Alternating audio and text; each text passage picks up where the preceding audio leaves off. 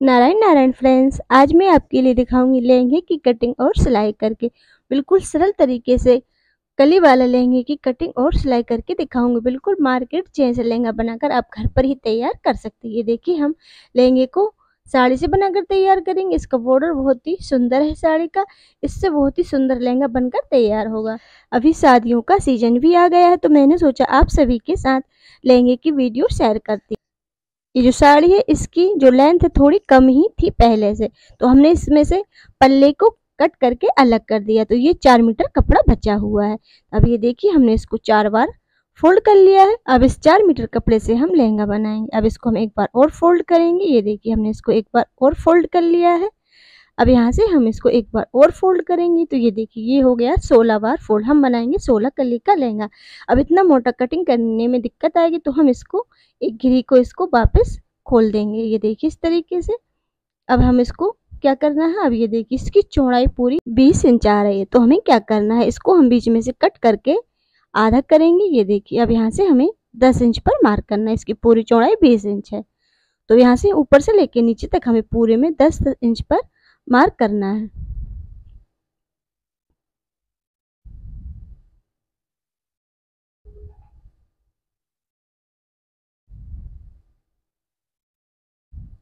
अब यहाँ से हमें सीधी लाइन को मिलाना है।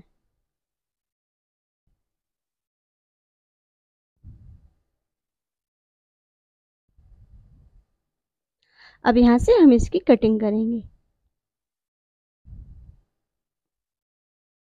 अब इसके बीच में से कटिंग करके हमने इसको दो भाग में कर लिया है। अब ये यहाँ से भी फोल्ड है। तो यहाँ से भी हम इसकी कटिंग करेंगे।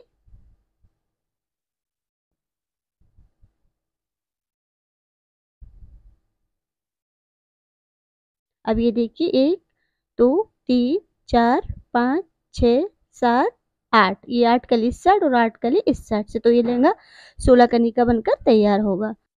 अब हम लहंगे की लंबाई का साइज़ लगाएँगे। लंबाई हमें कंप्लीट बनी हुई लहंगे की चालीस इंच चाहिए। तो यहाँ से हमने इंची टेप को रख लिया है और हम यहाँ पर लंबाई का मार्क लगाएँगे। अब उसमें ऊपर लगाएँगे हम दो इंच का बेल्ट तो यहाँ पर हम लंबाई रखेंगे अड़तीस इंच अब नीचे से हमें एक इंच फोल्ड करना है तो एक इंच मार्जिन हमें नीचे से चाहिए और आधा इंच मार्जिन हमें ऊपर से चाहिए।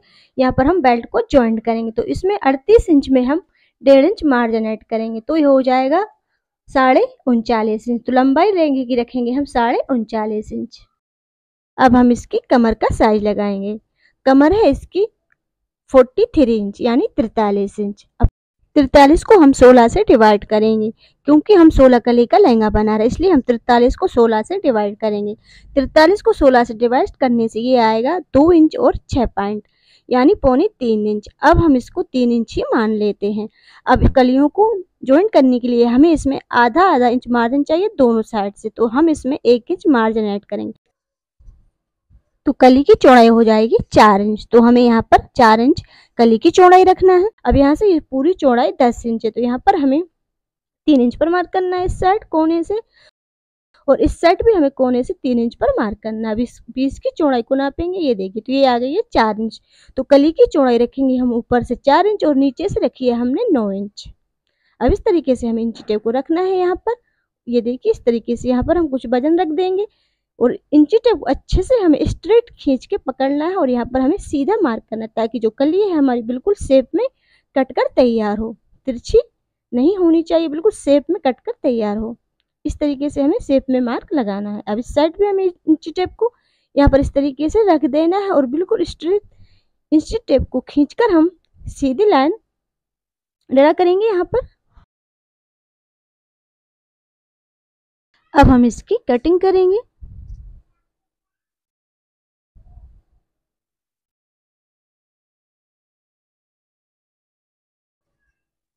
अब यहाँ से कली की कटिंग करना है।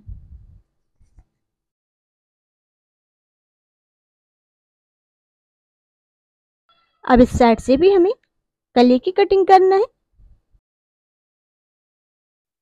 तो ये देखिए, हमने दोनों साइड से कली की कटिंग कर ली। है अब ये देखिए, बीचा भी जिन चप को रख के हमें इसकी लंबाई को नापना है। इसकी लंबाई आ रही है यहाँ पर साढ़े उनचालीस इंच और ये देखिए यहाँ पर आ रही है इसकी चालीस इंच।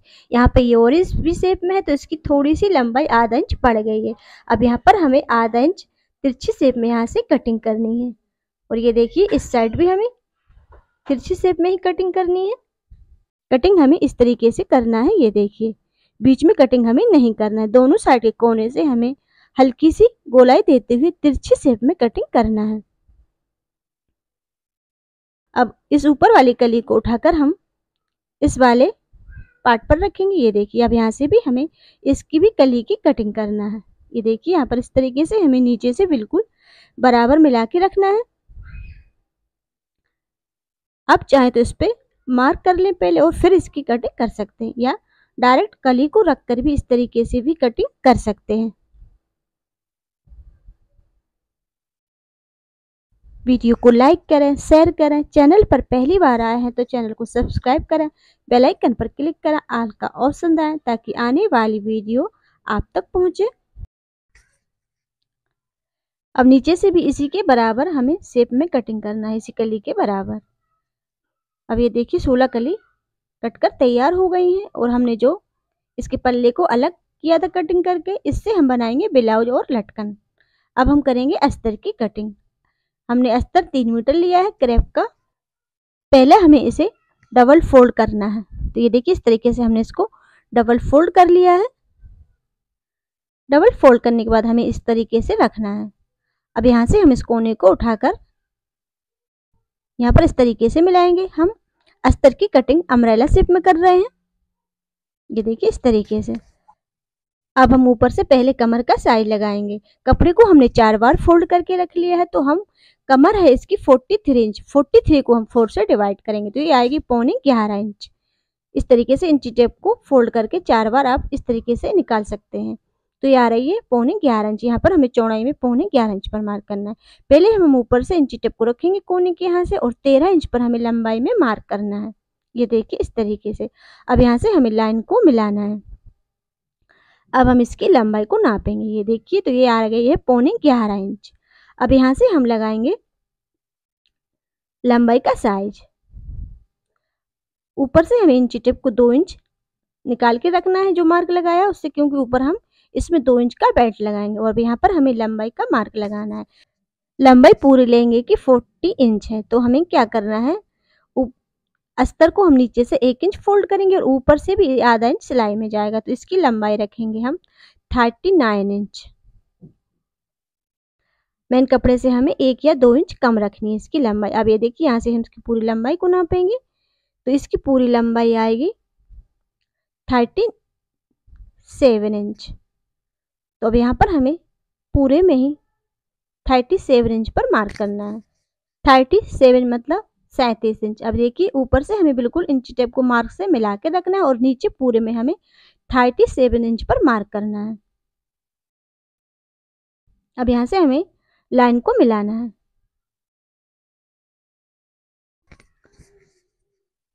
अब यहाँ से ये देखिए, यहाँ पर ये दोनों पार्ट का कपड़ा कम है तो यहाँ पर हम जॉइंट लगाएँगे। अब हम इसकी कटिंग करेंगे।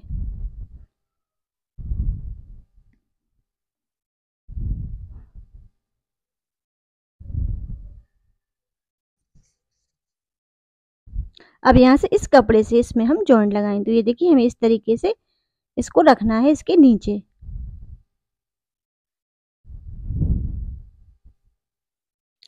जो कपड़ा इसका कम है ऊपर वाले पार्ट का, वहाँ से हमें इसको एक इंच अंदर की साइड करके रखना है। ये देखिए, इस तरीके से रखना है, एक इंच अंदर की साइड करके।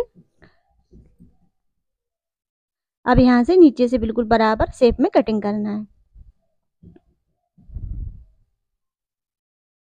अब ये देखिए, यहाँ से जो ये वाला पार्ट ये पहले से जॉइंट है। तो इन दोनों पार्टों को भी हम सिलाई लगाकर जॉइंट करेंगे। इसके बाद फिर हम यहाँ पर इस पार्ट को जॉइंट करेंगे। ये देखिए, इस तरीके से फिर यहाँ पर हमें इसे जॉइंट करना है।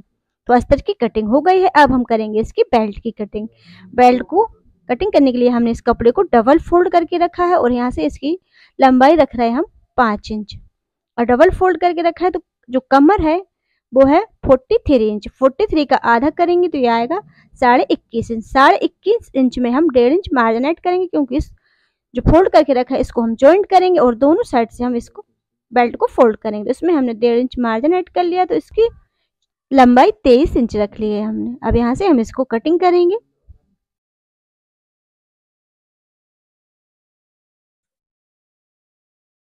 अब हम इसके लिए कैन कैन कपड़े की कटिंग करेंगे। तो ये देखिए कैन कैन कपड़ा हमने साढ़े तीन मीटर लिया है। अब इसकी दोनों साइड की जो कड़क किनार है, उसको हम कटिंग करके अलग करेंगे। अब ये देखिए, यहाँ से इसकी पूरे अर्ज़ की लंबाई आ रही है, चालीस इंच। अब यहाँ से हम इसकी अर्ज़ की कटिंग तीन टुकड़ों में करेंगे। तेरह तेरह इंच के तीन टुकड़े करेंगे। तो ये देखिए, हमने इसको तीन टुकड़ों में कटिंग कर लिया। अब इन तीनों टुकड़ों को हमें इस तरीके से, ये देखिए, यहाँ पर ज्वाइंट करके एक लंबी पट्टी बनाकर तैयार करना है। पूरे लहंगे की कटिंग हो गई है। नेक्स्ट वीडियो में फिर मिलते हैं। इसकी सिलाई के साथ। Thanks for watching video Narayan Narayan.